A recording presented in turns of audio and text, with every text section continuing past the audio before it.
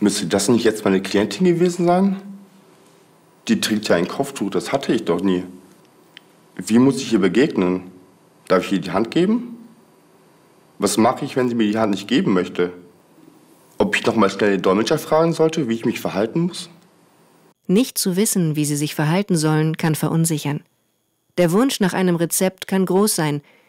Ihr Gegenüber ist aber immer ein eigenständiges Individuum. Seien Sie offen für unterschiedliche Verhaltensweisen und versuchen Sie, sich möglichst nicht verunsichern zu lassen.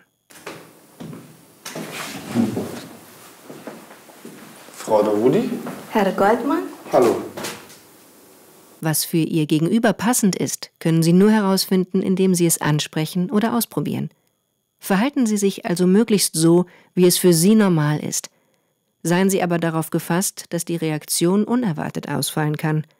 Wenn es für Sie wichtig ist, den Hintergrund für ein bestimmtes Verhalten zu kennen, fragen Sie lieber direkt Ihr Gegenüber, als den Dolmetscher um seine Meinung zu bitten. Trauen Sie also weder den kulturellen Klischees in Ihrem eigenen Kopf noch denjenigen im Kopf des Dolmetschers. Nehmen Sie Ihre Rolle professionell wahr und seien Sie darauf gefasst, dass Menschen sich ganz unterschiedlich verhalten können. Wie stellen Sie sich Ihre berufliche Zukunft hier denn vor?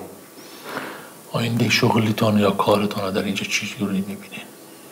من توی ایران خیاطی یاد گرفتم و چون خیلی این شغل رو دوست دارم مایل هستم که اینجا هم توی همین زمینه توی خیاطی کار کنم فعالیت کنم Ich war in der Iran Schneiderin, deswegen ich liebe meinen Beruf und ich will das hier auch weiter ausüben. Mhm. Okay.